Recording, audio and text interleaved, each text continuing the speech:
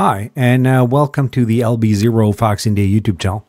I'm Morten, LB0 Fox India, and today we're going to take a look at uh, WinLink settings for the ICOM IC7300. So if you have that radio, you'll see how to set up WinLink. I'll show you my settings and uh, I'll connect just to show that it works. So the first thing you'll do is you press the settings and the WinLink Express Setup button here. You enter your call sign your WinLink password. Um, you enter your grid square down here. Uh, mine's Juliet Oscar 59 Romeo Bravo. And you have some optional contact information here. And if you're like me, you tend to forget your password once in a while. I'd uh, recommend you to enter a password recovery email here uh, so you can recover your password should you forget it. Uh, then you press update, or for my uh, my case here, I'll press cancel since I've already set it up. And we're going to use Vara. So uh, what you need to do before starting this is you need to download WinLink and Vara HF. I'll put links to both down in the description. Then you, so you select Vara HF here. You press Open Session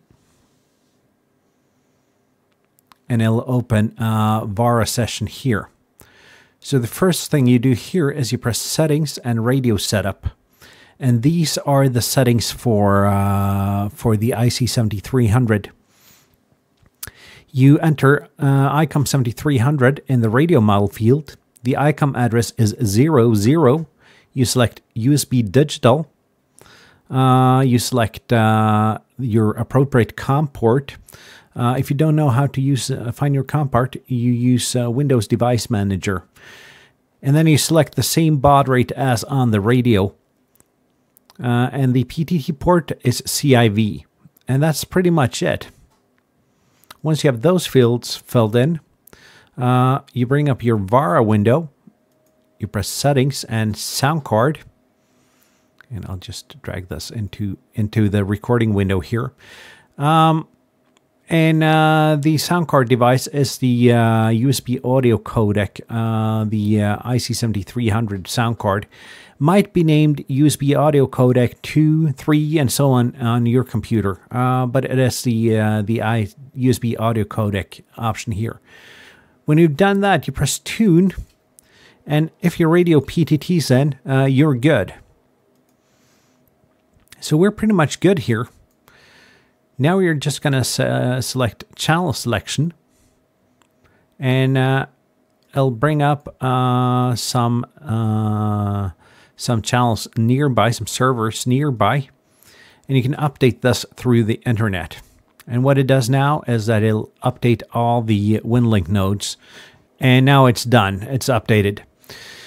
So what we're going to do now, we're going to select a node that is pretty much nearby and you can see the path reliability and the path quality here. And um, for right now, it's pretty poor, but if we go up here to the top, we should be good. And uh, we can select the LA1T node, uh, which is relatively close to me. So what you do now is uh, you listen if the frequency is free and if it's free, you press start. Then it starts connecting here. And uh, you can see here it's got 15 attempts to connect. Let's see if we can make the connection now.